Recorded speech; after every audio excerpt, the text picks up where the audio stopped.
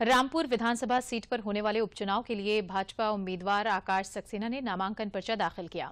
इस अवसर पर उनके साथ पूर्व केंद्रीय मंत्री मुख्तार अब्बास नकवी, शिव बहादुर सक्सेना और प्रदेश के कैबिनेट मंत्री सुरेश खन्ना भी मौजूद रहे। मुख्तार अब्बास नकवी ने कहा कि देश और प्रदेश दोनों ही करप्शन फ्री जातिवादी फ्री और क्राइम फ्री माहौल में चल रहा है और इस बात को भी हमें और आगे बढ़ाना है।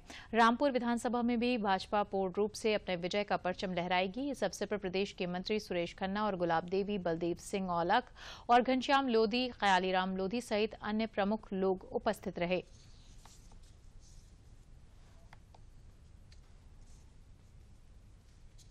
फ्री माहौल में, कम्युनलिज्म फ्री माहौल में और क्राइम फ्री माहौल में चल रहा है और इस बात को हमें आगे बढ़ाना है। जहाँ तक सवाल है कुछ लोगों को लगता है कि बिना ज़मीन के जमींदारी और बिना जनाधार के जागीरदारी का उनका परमानेंट जो है वो ठेका है वो किसी का नहीं है। जनता सबसे बड़ी जमींदार है और जनता ही जनाधार तय करती है।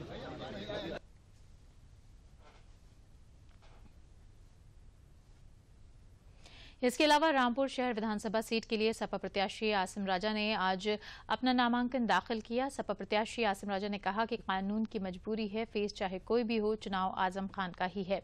सपा प्रत्याशी के साथ नगर पालिका सदर की चेयरपर्सन फातिमा जबी, सपा पूर्व जिला अध्यक्ष वीरेंद्र गोयल आदि मौजूद रहे।